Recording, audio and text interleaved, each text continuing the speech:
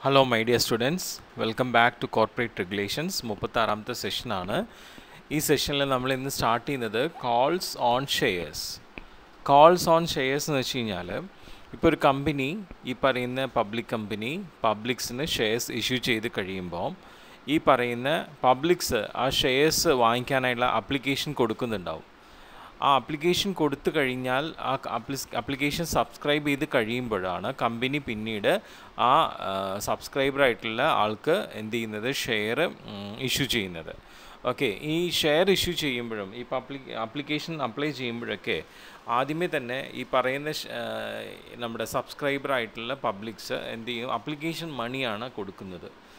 പിന്നെ അത് മാത്രമല്ല ഇപ്പം നമ്മളുടെ കമ്പനി ഈ ഷെയർ അലോട്ട് ചെയ്ത് കൊടുക്കുമ്പം ഈ പറയുന്ന സബ്സ്ക്രൈബേഴ്സിന് ആ ഷെയർ ഒരു അവരെടുക്കുന്ന ഷെയറിന്റെ ഫുൾ എമൗണ്ട് അപ്പം തന്നെ കൊടുക്കണമെന്ന് നിർബന്ധമില്ല അതുപോലെ തന്നെ കമ്പനിക്കും അതുപോലെ ഫുൾ എമൗണ്ട് മുഴുവനായിട്ട് അത് അലോട്ട് ചെയ്യുന്ന സമയത്ത് തന്നെ വാങ്ങിക്കണമെന്ന് നിർബന്ധമില്ല. അപ്പോൾ അത് ഒരു ഫ്ലെക്സിബിലിറ്റി ഉണ്ട്. അപ്പോൾ ഈ ഷെയറിന്റെ ഫേസ് വാല്യൂ ഉണ്ട്. ആ ഫേസ് വാല്യൂ അതാണ് ഇഷ്യൂ വാല്യൂ അല്ലേ? അത് ഇഷ്യൂ വാല്യൂ എന്ന് പറയുമ്പം ഇഷ്യൂ അറ്റ് പ്രീമിയം ആവാം അതുപോലെ തന്നെ അറ്റ് പാർ ആവാം. ഡിസ്കൗണ്ട് പറ്റില്ല എന്ന് പറഞ്ഞിട്ടുണ്ട്. അപ്പോൾ ആ ഒരു വാല്യൂവിൽ ഷെയർ ഇഷ്യൂ ചെയ്യുമ്പോൾ അതിൽ എല്ലാ അമൗണ്ടും ഒരുമിച്ച് തന്നെ കളക്ട് ചെയ്യണമെന്ന് കമ്പനിക്ക് നിർബന്ധമില്ല. അപ്പോൾ കമ്പനി എന്ത് വെച്ച് കഴിഞ്ഞാൽ ഈ പറയുന്ന ഷെയർ കൊടുത്തു കഴിയുമ്പോൾ ഷെയർ പർച്ചേസ് ചെയ്യുന്ന ആൾക്കാർ അതിന്റെ ഒരു നോമിനൽ എമൗണ്ട് മാത്രമാണ് പേ ചെയ്യുന്നത്. ബാക്കിയുള്ള എമൗണ്ടുകൾ പിന്നെ കമ്പനി എപ്പോഴാണോ ആവശ്യപ്പെടുന്നത് ആ സമയത്ത് പേ ചെയ്താൽ മതി. അപ്പോൾ അങ്ങനെ നമ്മുടെ ഷെയറിന്റെ ബാലൻസ് എമൗണ്ട് ആവശ്യപ്പെടുന്ന സമയത്ത് ഈ സബ്സ്ക്രൈബേഴ്സ് അല്ലെങ്കിൽ ഷെയർ ഹോൾഡേഴ്സ് പേ ചെയ്യുന്നു. അപ്പോൾ അങ്ങനെ ഈ ഷെയറിന്റെ ബാക്കി എമൗണ്ട് ആവശ്യപ്പെടുന്ന ആ ഒരു കൺസെപ്റ്റിനെയാണ് കോൾ ഓഫ് ഷെയർസ് എന്ന് പറയുന്നത്. ഓക്കെ അപ്പം ശരിക്കും ഈ പറയുന്ന ഷെയർ ഹോൾഡേഴ്സ് നമ്മുടെ കമ്പനിയുടെ ഷെയർസ് വാങ്ങിച്ചിട്ട് അതിന്റെ ഇഷ്യൂ പ്രൈസിന്റെ കുറച്ച് എമൗണ്ട് നോമിനൽ എമൗണ്ട് പേ ചെയ്തിട്ടുള്ള ബാക്കി എമൗണ്ട് പേ ചെയ്യാനുണ്ടെങ്കിൽ അത് അവരുടെ ഒരു ഡെപ്റ്റാണ് കമ്പനിയുടെ ഭാഗത്തേക്ക് വരുന്നത്. ഓക്കെ സോ സാധാരണഗതിയിൽ ഈ പറയുന്ന അഞ്ച് ശതമാനമാണ് നോമിനൽ വാല്യൂ ഈ ആപ്ലിക്കേഷൻ മണിയുടെ കൂടെ ഈ സബ്സ്ക്രൈബർ ആയിട്ടുള്ള വ്യക്തികൾ പേ ചെയ്യുന്നത്. ബാക്കിയുള്ള എമൗണ്ട് പിന്നീടുള്ള കോൾ ഓഫ് ഷെയറിൽ അലോട്ട് ചെയ്യുകയാണ് ചെയ്യുന്നത്. ബാക്കിയുള്ള അമൗണ്ട് എങ്ങനെയാണ് കോൾ ഓഫ് ഷെയറിൽ വിളിക്കേണ്ടതെന്ന് വെച്ച് കഴിഞ്ഞാൽ ഒരു കോൾ ചെയ്യുന്ന സമയത്ത് ആ call one by fourth nominal value മാത്രമേ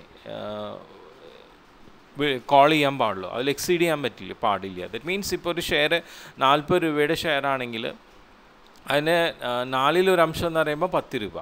അപ്പോൾ പത്ത് രൂപയുടെ ആ ഒരു കോളാണ് ചെയ്യേണ്ടത് ഒരു ടൈമിൽ അതിൽ എക്സീഡ് ചെയ്യാൻ പാടില്ല. പിന്നെ അതുപോലെ തന്നെ ഒരു കോൾ ചെയ്ത് കഴിഞ്ഞാൽ അതേ മാസത്തിൽ തന്നെ വേറൊരു കോൾ ചെയ്യാൻ പറ്റില്ല.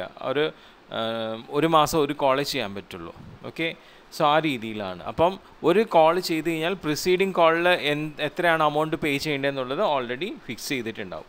സോ ഇങ്ങനെ നമ്മളുടെ കമ്പനിയുടെ ഷെയർസിന് കോൾ ചെയ്യാൻ വേണ്ടിയിട്ടുള്ള പവർ നമ്മുടെ ബോർഡ് മീറ്റിങ്ങിൽ ഒരു റെസൊല്യൂഷൻ പാസ് ചെയ്തിട്ടാണ് ഫോം ചെയ്യുന്നത്. അവിടെ ബോ ബോർഡ് മീറ്റിങ്ങിൽ അവർ എന്ത് ചെയ്യുന്നുണ്ടാവും അവർ കോളിനെ കുറിച്ചുള്ള പ്രൊവിഷൻസ് ആർട്ടിക്കിളിൽ പറയുന്ന രീതിയിൽ കാര്യങ്ങൾ ചെയ്യുന്നുണ്ടാവും. അതല്ലാതെയുള്ള കോൾ ചെയ്യുകയാണെങ്കിൽ അത് ഇൻവാലിഡ് ആണെന്നാണ് പറയുന്നത്. അപ്പോൾ അതുകൊണ്ട് ഷെയർ ഹോൾഡേഴ്സ് അതിന് പേ ചെയ്യേണ്ട ഒരു ബാധ്യത വരുന്നില്ല. ആർട്ടിക്കിളിൽ പറയാതെ ബോർഡ് ഓഫ് മീറ്റിംഗ് കൂട്ടി റെസൊല്യൂഷൻ നടത്താതെയുള്ള കോൾ ഇൻവാലിഡ് ആയിട്ടുള്ള കോളാണ്. അപ്പോൾ ഒരു വാലിഡ് ആയിട്ടുള്ള കോൾ നടത്തണമെങ്കിൽ സ്വാഭാവികമായിട്ടും നമ്മളുടെ ബോർഡ് ഓഫ് ഡയറക്ടേഴ്സ് എന്ത് ചെയ്യണമെന്ന് വെച്ച് കഴിഞ്ഞാൽ നല്ല ഡയറക്ടേഴ്സിൽ തന്നെ ക്വാളിഫൈഡ് ആയിട്ടുള്ളവരെ ഡ്യൂലി അപ്പോയിന്റ് ചെയ്തിട്ട് അവർ പ്രകാരമാണ് കോൾ ചെയ്യേണ്ടത്. പിന്നെ ബോർഡ് ഓഫ് ഡയറക്ടേഴ്സിൽ മീറ്റിംഗ് നടത്തി എല്ലാവരും വിളിച്ചു വരുത്തി മീറ്റിംഗ് നടത്തിയിരിക്കണം. ആ ബോർഡ് ഓഫ് ഡയറക്ടേഴ്സിൽ കോർ ഉണ്ടായിരിക്കണം. മിനിമം നമ്പർ ഓഫ് മെമ്പേഴ്സ് ചേർന്നിട്ടാണ് തീരുമാനം എടുക്കേണ്ടത്. ആ ആ കോറത്തിൽ റെസൊല്യൂഷൻ പാസ് ചെയ്തിട്ട് അത് ഡ്യൂലി പാസ് ചെയ്തിട്ടുണ്ടാവണം. അത് മിനിറ്റ്സിൽ എന്റർ ചെയ്തിട്ടുണ്ടാവണം. അതുപോലെ ഒരേ ക്ലാസ് ഷെയർസിനെ ഒരേ ഒരേ ടൈപ്പ് കോളിൽ തന്നെയായിരിക്കണം എടുക്കേണ്ടത്. യൂണിഫോമിറ്റി ഉണ്ടാവണം. പിന്നെ നമ്മുടെ കമ്പനിയുടെ ഇൻട്രസ്റ്റിലാണ് കോൾ ചെയ്യേണ്ടത്. ഇത്രയും കാര്യങ്ങൾ നമ്മൾ ആ കോളിന് വേണ്ടിയിട്ട് ചെയ്യേണ്ടതുണ്ട്. ഓക്കെ അപ്പോൾ കമ്പനി ഈ ഷെയറിന്റെ കോൾ ചെയ്യുന്നത് ഒരു നോട്ടീസ് ഓഫ് പേയ്മെന്റ് വെച്ചിട്ടാണ്. അപ്പം മെമ്പേഴ്സിന് എല്ലാവർക്കും നോട്ടീസ് ഓഫ് പേയ്മെന്റ് കൊടുക്കും. ഒരു ഫോമൽ നോട്ടീസ് അല്ലെങ്കിൽ ഒരു റിക്വസ്റ്റ് ഫോർ പേയ്മെന്റ് ഒക്കെ കൊടുത്തിട്ടാണ് അവരോട് പേ ചെയ്യാൻ പറയുന്നത്. അപ്പോൾ എവറി ഷെയർ ഷെയർ ഹോൾഡേഴ്സ് അതൊരു നിർബന്ധിതമായിട്ടുള്ള ബാധ്യത വെച്ചുകൊണ്ട് അവരത് പേ ചെയ്യണം. ഓക്കെ. സോ അത് അവർ പേ ചെയ്ത് അവർ എന്ത് ചെയ്യണമെന്ന് വെച്ച് കഴിഞ്ഞാൽ അതൊരു യൂണിഫോം ബേസിലാണ് അവർക്ക് ഈ കോൾ വരുന്നത്. അതുപോലെ അവർ പേ ചെയ്യണം. ഇനി അഥവാ ഏതെങ്കിലും ഷെയർ ഹോൾഡേഴ്സ് ഇങ്ങനെ ഒരു കോൾ ലെറ്റർ വന്നു ആ പേയ്മെന്റ് റിക്വസ്റ്റ് വന്നിട്ട് അയാൾ പേ ചെയ്തില്ല എന്നുണ്ടെങ്കിൽ ആ വ്യക്തി ആ ഷെയർ ഹോൾഡർക്ക് ആ പേ ചെയ്യാത്തതിന്റെ എമൗണ്ടിന്റെ ഇൻട്രസ്റ്റും കൂടി പേ ചെയ്യേണ്ടതായിട്ട് വരുന്നുണ്ടാവും. കൃത്യമായിട്ടുള്ള ഡേറ്റിൽ തന്നെ പേ ചെയ്തില്ലെങ്കിൽ അങ്ങനെ ഒരു ഇൻട്രസ്റ്റ് വരുന്നുണ്ട്. അത് ഏകദേശം പത്ത് ശതമാനത്തോളം പെർ ആനം എന്നുള്ള രീതിയിൽ ഏതാണ് ലോവർ റേറ്റ് അത് അനുസരിച്ചാണ് വരുന്നത്. അത് ബോർഡാണ് തീരുമാനിക്കുക ആ ഒരു റേറ്റ് ഓഫ് ഇൻട്രസ്റ്റ് ഇനി നെക്സ്റ്റ് വരുന്നത് കോൾസ് ഇൻ അഡ്വാൻസ് ആണ്. എന്താണ് കോൾസ് ഇൻ അഡ്വാൻസ് എന്ന് വെച്ച് കഴിഞ്ഞാൽ ചില കമ്പനി ഈ പറയുന്ന പോലെ ഈ ഷെയർസിന്റെ ഇഷ്യൂ പ്രൈസിന്റെ ഫുൾ എമൗണ്ട് വാങ്ങിക്കാതെ ബാലൻസ് അലോട്ട്മെന്റ് പ്രൈസ് വെച്ചിട്ടുണ്ടാവും. അത് ഒരു നോമിനൽ വാല്യൂ മാത്രമാണ് കളക്ട് ചെയ്തിട്ടുണ്ടാവുക. പിന്നീട് കോൾ ചെയ്യുന്ന സമയത്താണ് ഷെയർ ഹോൾഡേഴ്സ് അത് പേ ചെയ്യേണ്ടത്. അപ്പം ചില ഷെയർ ഹോൾഡേഴ്സ് ആയിട്ടുള്ള മെമ്പേഴ്സ് അവർ എന്ത് വെച്ചാൽ മുൻകൂട്ടി തന്നെ അതായത് ഈ കോൾസ് വരുന്നതിന് മുമ്പായിട്ട് തന്നെ അഡ്വാൻസ് ആയിട്ട് അവരുടെ ബാലൻസ് എമൗണ്ട് പേ ചെയ്യാനുള്ള ഒരു പ്രൊവിഷനും കൂടി ഉണ്ട്. അത് കമ്പനിക്ക് അക്സെപ്റ്റ് ചെയ്യാം. സോ അതിനെയാണ് നമ്മൾ അഡ്വാൻസ് ഓഫ് കോൾ കോൾസ് അല്ലെങ്കിൽ കോൾസ് ഇൻ അഡ്വാൻസ് എന്ന് പറയുന്നത്. അപ്പോൾ ഈ രീതിയിൽ ഏതെങ്കിലും മെമ്പേഴ്സ് ആയിട്ടുള്ള ഷെയർ ഹോൾഡേഴ്സ് അവരുടെ ഷെയർസിന്റെ ബാക്കിയുള്ള വാല്യൂ വാല്യൂസ് അവർ അഡ്വാൻസ് ആയിട്ട് പേ ചെയ്യുകയാണെങ്കിൽ തീർച്ചയായിട്ടും കമ്പനി അവർക്ക് എന്ത് ചെയ്യണം? ആ അഡ്വാൻസ് ആയിട്ട് പേ ചെയ്യുന്നതിന് ഒരു ഇൻട്രസ്റ്റ് കൊടുക്കണം. അത് ട്വൽവ് പെർസെന്റ് പെർ എന്നുള്ള രീതിയിൽ ബോർഡ് അംഗീകരിച്ചിട്ടാണ് കൊടുക്കുന്നത്. ഓക്കെ സോ ഇങ്ങനെ ഒരു ലയബിലിറ്റി ഉള്ള മെമ്പറാണ് ശരിക്കും ഈ ഒരു കോൾ ഇൻ അഡ്വാൻസ് ചെയ്യുന്നത്. ഈ പറയുന്ന മെമ്പറായിട്ടുള്ള ഷെയർ ഹോൾഡർ ഇങ്ങനെ കോൾ ഇൻ അഡ്വാൻസ് ചെയ്യുന്നത് കൊണ്ട് അയാൾക്ക് ഒരു കൂടുതലായിട്ടുള്ള വോട്ടിംഗ് റൈറ്റ്സ് ഒന്നും കിട്ടുന്നില്ല. കാരണം അഡ്വാൻസ് പേയ്മെന്റ് ആണ്. അത് പിന്നീടൊക്കെയാണ് ഉപയോഗിക്കുന്നത്.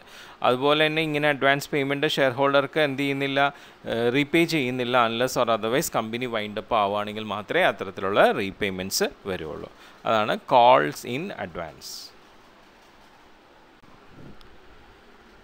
ഇനി നെക്സ്റ്റ് വരുന്നതാണ് surrender of shares surrender of shares എന്ന് വെച്ച് കഴിഞ്ഞാൽ പെട്ടെന്ന് നമ്മൾ ഈ ഷെയർ ഹോൾഡേഴ്സ് ഷെയർസ് തിരിച്ച് കമ്പനിക്ക് തന്നെ റിട്ടേൺ ചെയ്യുന്നതിനെയാണ് സറണ്ടർ ഓഫ് ഷെയർസ് എന്ന് പറയുന്നത്. അത് ക്യാൻസലേഷന് വേണ്ടിയിട്ട്.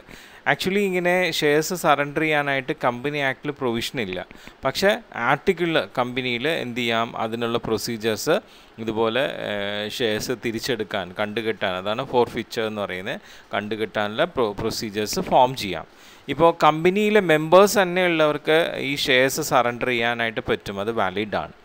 സോ നമ്മൾ ഇങ്ങനെ ഷെയർസ് സറണ്ടർ ചെയ്യാനായിട്ട് ആർട്ടിക്കിളിൽ ഡയറക്ടേഴ്സ് എന്ത് ചെയ്യുന്നുണ്ട്? പവർ കൊടുത്തിട്ട് അത് അക്സെപ്റ്റ് ചെയ്യുന്നുണ്ട്. അപ്പം അങ്ങനെ അക്സെപ്റ്റ് ചെയ്യുന്ന സാഹചര്യത്തിൽ അവർക്ക് അതിന്റെ ഫോർമാലിറ്റീസ് ഫോം ചെയ്യാം. പക്ഷേ ഈ പറയുന്ന ഫുള്ളി പെയ്ഡപ്പ് അല്ലാത്ത ഷെയർസ് സറണ്ടർ ചെയ്യുമ്പോൾ അതിന്റെ ജസ്റ്റിഫിക്കേഷൻ നോക്കിയിട്ടേ അത് അക്സെപ്റ്റ് ചെയ്യാൻ പറ്റുള്ളൂ സറണ്ടർ ചെയ്യാൻ പറ്റുള്ളൂ. പിന്നെ ഫുള്ളി പെയ്ഡപ്പ് ഷെയർസ് ആണെങ്കിൽ അത് സറണ്ടർ അക്സെപ്റ്റ് ചെയ്യാം. അതിന് പകരം exchange of new shares same nominal ആവാം. അപ്പോൾ അതുകൊണ്ട് നമ്മുടെ ക്യാപിറ്റലിൽ യാതൊരു മാറ്റവും വരുന്നില്ല. പിന്നെ ഈ സറണ്ടർ ചെയ്ത ഷെയർസ് വേണമെങ്കിൽ വീണ്ടും കമ്പനിക്ക് റീഇഷ്യൂ ചെയ്യാം. അത് ഫോർഫീച്ചർ ഷെയർസിന്റെ ആ ഒരു അതേ രീതിയിൽ തന്നെ കണ്ടു കിട്ടുന്ന പോലെ തന്നെ തിരിച്ച് റീ ഇഷ്യൂ ചെയ്യാനുള്ള പ്രൊവിഷൻസും കമ്പനിക്കുണ്ട് ഇനി നെക്സ്റ്റ് ആണ് ഫോർ ഓഫ് ഷെയർസ് എന്താണ് ഫോർ ഓഫ് ഷെയർസ് എന്ന് വെച്ചാൽ ഷെയർസ് കണ്ടെത്ത് കണ്ടു കിട്ടുക. അതായത് നമ്മൾ ഈ പറയുന്ന ഷെയർ ഹോൾഡേഴ്സ് നമ്മൾ ഷെയർസ് കൊടുത്തു. അതിന്റെ ഈ കോൾ മണി നമ്മൾ ഷെയർസ് കോൾ ചെയ്യുമ്പോൾ അതിനുള്ള ബാക്കിയുള്ള ഇൻസ്റ്റാൾമെന്റ് ഒന്നും പേ ചെയ്യാതെ അതിൽ ഡിഫോൾട്ട് വരുത്തി. അങ്ങനെയൊക്കെ വരുമ്പോൾ അങ്ങനെയുള്ള ഷെയർ ഹോൾഡേഴ്സിൽ നിന്നും നമ്മൾ തിരിച്ച് നമ്മുടെ കമ്പനിയുടെ ഷെയർസ് നമ്മൾ കണ്ടുകിട്ടും. അതിനെയാണ് ഫോർ ഫീച്ചർ ഓഫ് ഷെയർസ് എന്ന് പറയുന്നത്. ഇതെങ്ങനെയാണ് കണ്ടുകിട്ടുന്നതെന്ന് വെച്ച് കഴിഞ്ഞാൽ ഇൻ അക്കോർഡൻസ് വിത്ത് ആർട്ടിക്കിൾ നമ്മൾ ഓൾറെഡി കമ്പനിയുടെ ആർട്ടിക്കിളിൽ ഈ ഫോർ ഫ്യൂച്ചറിനെ കുറിച്ച് മെൻഷൻ ചെയ്തിട്ടുണ്ടാവും. എന്തെങ്കിലും ഇറഗുലാരിറ്റി നമ്മളുടെ ഷെയർ ഹോൾഡേഴ്സ് കാണിച്ചു കഴിഞ്ഞാൽ ഏതൊക്കെ സാഹചര്യങ്ങളിലാണ് നമ്മൾ ഈ ഷെയർസ് കണ്ടെത്തേണ്ടത് കണ്ടുകെട്ടേണ്ടത്. പിന്നെ അതുപോലെ തന്നെ ഇഫ് യുവർ ഫീച്ചർ നടത്തുന്നതിന് മുമ്പായിട്ട് തന്നെ കമ്പനി എന്ത് ചെയ്യണം? ഒരു നോട്ടീസ് ഈ ഡിഫോൾട്ടിങ് ഷെയർ ഹോൾഡേഴ്സിന് അവർ അൺപേ ചെയ്തതിനെക്കുറിച്ചും അവരിനി ഇൻട്രസ്റ്റ് അടയ്ക്കുന്നതിനെക്കുറിച്ചുള്ള കാര്യങ്ങളൊക്കെ വ്യക്തമാക്കി നോട്ടീസ് കൊടുക്കണം. അപ്പം അത് പതിനാല് ദിവസം എങ്കിലും നമ്മൾ മുന്നേ ഈ ഫോർ ഫീച്ചർ നടത്തുന്നേക്ക് പതിനാല് ദിവസം മുന്നെങ്കിലും ആ നോട്ടീസ് കൊടുത്തിരിക്കണം.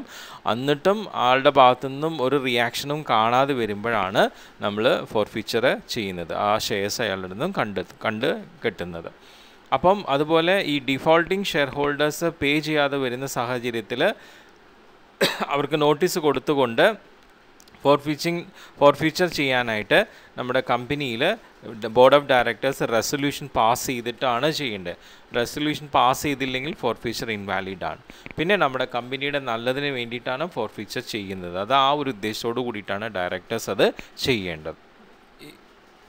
ഈ ഫോർ ഫീച്ചറിന്റെ ഇഫക്ട്സ് എങ്ങനെയൊക്കെയാണെന്ന് വെച്ച് കഴിഞ്ഞാൽ നമ്മൾ ഈ ഷെയർ ഹോൾഡറിൽ നിന്നും ഷെയർസ് കണ്ട് കണ്ടു കെട്ടിക്കഴിയുമ്പം ആ ഷെയർ ഹോൾഡറുടെ മെമ്പർഷിപ്പ് അവിടെ ക്യാൻസൽ ചെയ്യപ്പെടും.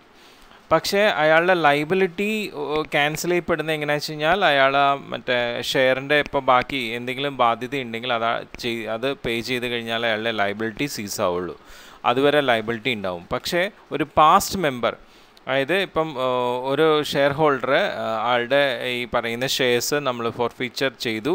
എന്നിട്ട് അയാളുടെ ഷെയർ നമ്മൾ തിരിച്ചു വാങ്ങിച്ചു. ഓക്കെ വൺ ഇയർ കഴിഞ്ഞിട്ടാണ് അയാൾ പേ ചെയ്യുന്നുണ്ടെങ്കിൽ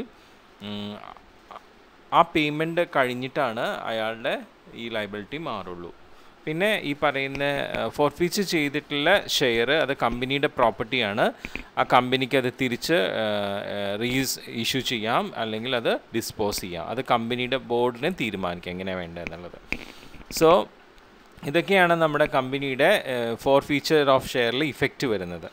അതിൽ പ്രത്യേകിച്ചും നോക്കുക ഈ ലൈബിലിറ്റി ആസ് പാസ് മെമ്പർ എന്ന് പറയുമ്പോൾ അത് former holder shall remain liable as a past member to pay call if liquidation takes place within one year of the forfeiture. അതായത് ഇപ്പം നമ്മൾ കമ്പനിയുടെ ഷെയർ കണ്ടുകെത്തി അതിന് അത് കഴിഞ്ഞ് വൺ ഇയറിന്റെ ഉള്ളിലാണ് നമ്മൾ ഈ പറയുന്ന കമ്പനിയുടെ ലിക്വിഡേഷൻ ഇപ്പോൾ കമ്പനി വൈൻഡിങ് അപ്പൊക്കെ വരുന്നുണ്ടെങ്കിൽ ആ പാസ് മെമ്പർ അതിന് ലൈബിളാണെന്നാണ് പറയുന്നത്.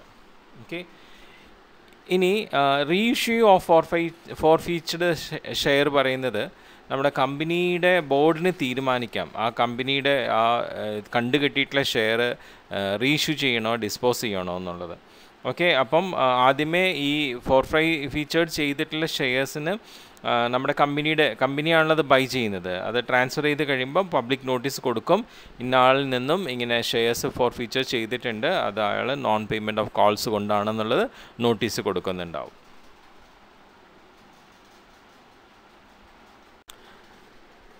സപ്പോസ് ഇപ്പം നമ്മൾ ഫോർ ഫീച്ചർ ചെയ്തിട്ടുള്ള ഷെയർസ് റീഇഷ്യൂ ചെയ്ത് അത് വേറെ വ്യക്തികൾ വാങ്ങിച്ചിട്ടുണ്ടെങ്കിൽ ആ ബയ്യറുടെ നെയിം രജിസ്റ്ററിൽ ഇൻക്ലൂഡ് ചെയ്തിട്ടുണ്ടാവും. അവർക്ക് പുതിയ സർട്ടിഫിക്കറ്റ് കൊടുത്തിട്ടുണ്ടാവും. അതുമാത്രമല്ല അവർക്ക് ഇഷ്യൂ ചെയ്തിട്ടുള്ള ഷെയർസിന്റെ ബാക്കിയുള്ള എല്ലാ ഫോമാലിറ്റീസും അവർക്ക് കംപ്ലീറ്റ് ചെയ്തിട്ടുണ്ടാവും. അവർക്ക് കിട്ടേണ്ടതായിട്ടുള്ള റൈറ്റ്സും കാര്യങ്ങളൊക്കെ അതടക്കം അവർക്ക് കൊടുക്കുന്നുണ്ടാവും.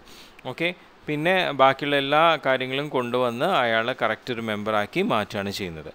ഇനി നെക്സ്റ്റ് നമുക്ക് വളരെ ഇമ്പോർട്ടന്റ് ആയിട്ടൊരു ടോപ്പിക്കാണ് what is the difference between forfeiture and surrender of shares അപ്പം ഈ ഫോർ ഫീച്ചർ എന്ന് പറയുന്നത് ഒരു കമ്പൽസറി ആക്ഷൻ കമ്പനി എടുക്കുന്നതാണ്. അവരുടെ ഷെയർസ് റിക്കവർ ചെയ്യാനായിട്ട്. പക്ഷേ സറണ്ടർ എന്ന് പറയുന്നത് ഒരു വോളണ്ടറി ആക്ഷനാണ് അത് ഷെയർ ഹോൾഡേഴ്സാണ് എടുക്കുന്നത്. ഓക്കെ പിന്നെ ഈ ഫോർ ഫീച്ചർ എന്ന് പറയുന്നത് കമ്പനി ഇനീഷ്യേറ്റീവായിട്ട് ചെയ്യുന്നതാണ് പക്ഷേ സറണ്ടർ ഷെയർ ഹോൾഡർ ഇനീഷ്യേറ്റീവ് ചെയ്യുന്നതാണ്.